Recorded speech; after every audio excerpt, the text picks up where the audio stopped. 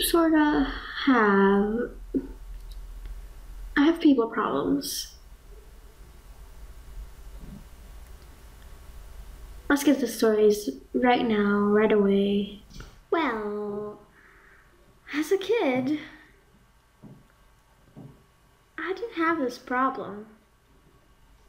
What problem? You don't need to know any problems. You're too young for that.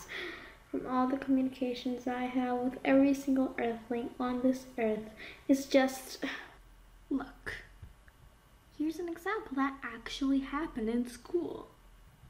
Hi. Wait, wait, what? Oh, oh, oh. I think I should say hi back. But what if he doesn't say like hi back? But what if I say hello? Um, does he like saying hello? Does he like greetings?